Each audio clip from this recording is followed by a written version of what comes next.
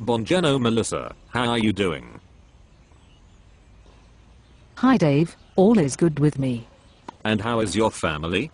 Alas not so well Dave, they have been inadvertently affected by some recent changes in government policy.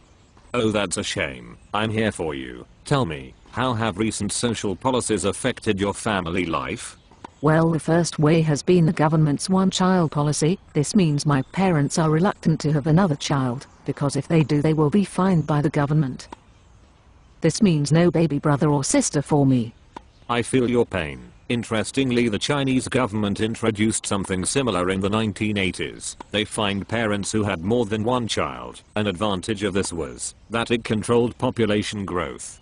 I understand that, but it's unfair, because my neighbors who are richer have had more than one child, they can afford to pay the fine. Yes that is unfortunate. I feel your pain. Any other problems? Well my sister's unemployed and pregnant, I think that she may have been encouraged to get herself up the duff, because of the overly generous benefits the government gives to lone mothers. It's not doing her, or the rest of society any good. Yes, I feel your pain. Interestingly the new right would agree with you there.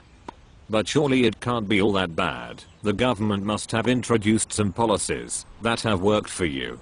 Well I guess that New Labour's child protection laws mean that I feel safer as a child. Yes, I guess so. We now live in a child-centered society after all. You younglings never had it so good.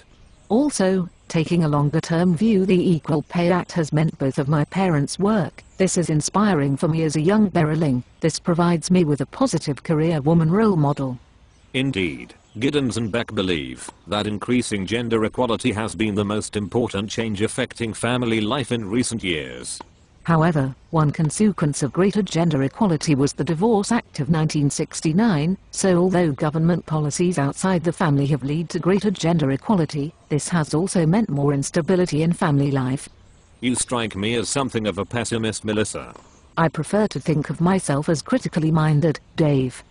Okay, so to summarize, some government policies affect family life negatively, such as the one-child policy and welfare payments to lone parents.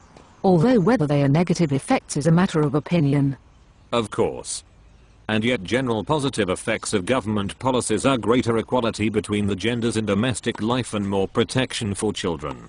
Yes, although some people would argue that children are too controlled today. Quite. Anyway, perhaps you should just stop moaning. No man wants a modern old bear after all.